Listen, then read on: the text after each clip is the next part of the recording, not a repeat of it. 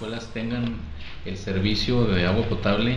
en el horario en el que trabajan, en el que lo, lo, necesitan y dejarlo de tener cuando no hay funciones ahí en la escuela. Y bueno, de esta manera nosotros creemos que vamos a tener un ahorro porque en ocasiones se queda alguna llavecita abierta, goteando, o un bebedero que los niños jugando lo dejaron sin querer abierto, o también algún sapito ahí del, de los servicios sanitarios